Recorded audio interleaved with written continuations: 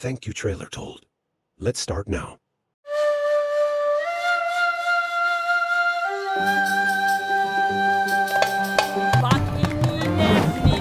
Hatshepsut's glorious reign bolstered trade, infrastructure, and artistic innovation.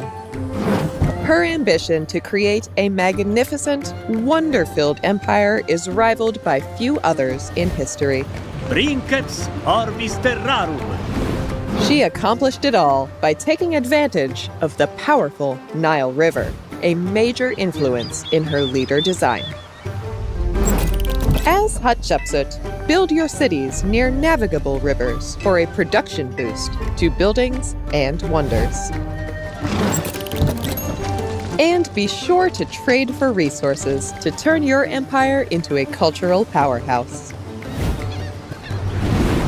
Consider pairing Hatshepsut with her native civ, Egypt, or the Exploration Age civ, Abbasid, whose cultural and scientific bonuses can amplify the power of your many wonders.